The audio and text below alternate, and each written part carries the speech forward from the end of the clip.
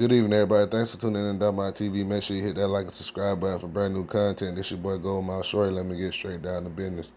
Hey man, make sure y'all smash that post notification bell button so you always be in the loop every time I drop a new video. Today we're finna talk about the feud between Wack 100 and Black Rob Cousin. Now, if you've been listening to Clubhouse lately, you've been seeing them go back and forth. You know what I mean? That boy Wack 100 and this little fan base saying that uh, Black Rob is not a legend. They say he was a crackhead. He died broke. And they was like, Puff Daddy ain't pay that nigga shit. He don't own his masters and everything else. And you know his cousin was defending him, saying, man, he wasn't no crackhead. Get your shit together. Stop motherfucking making up lies and shit.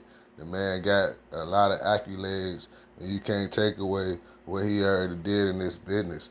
And you know, Wack 100 was like, fuck it, nigga. If you bought Brillo and you smoke crack, you smoke a glass dick, nigga, you're a crackhead. You know what I mean? You had put out a GoFundMe because you ain't had no more money left. And you know, I don't really respect that. But every man entitled to their own opinion. But I say, man, keep your nose out of bad boy business because you know Puff Daddy knows some real hitters, and you know Black Rob was associated with a lot of them Atlanta niggas that mean business, you feel me?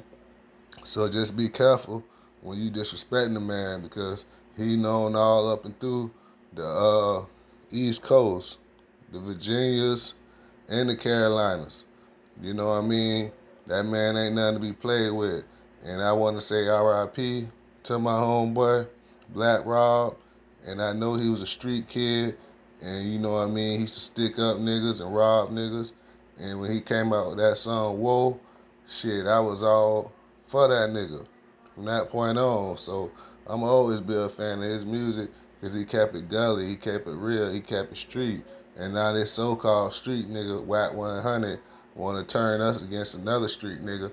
I just don't respect that. You know what I mean? There's a lot of room for everybody to get some money in this industry.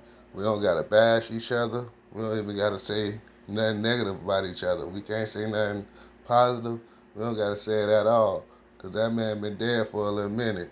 To say that he was broke and he was a crackhead and, you know, he a cokehead, shit, dog, that ain't our business. Everybody in the public don't need to know that. We want to remember Black Rob at some of his better times. You feel me? We don't want to hear him at his weakest moments when a man on his deathbed you know what I mean? A lot of them niggas battle with drugs and addiction and getting locked up and stuff after their careers uh, go down hill. But shit, when they was out there, they was making the most of it, making the best out of their situation. So I salute Black Rob.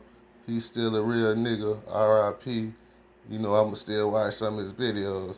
I think Wack 100 just out of line, man. Especially if that's really uh Black Rob cousin, you can't disrespect a female like that, and plus a legend. So be ready to deal with the consequences coming your way. Peace. Out.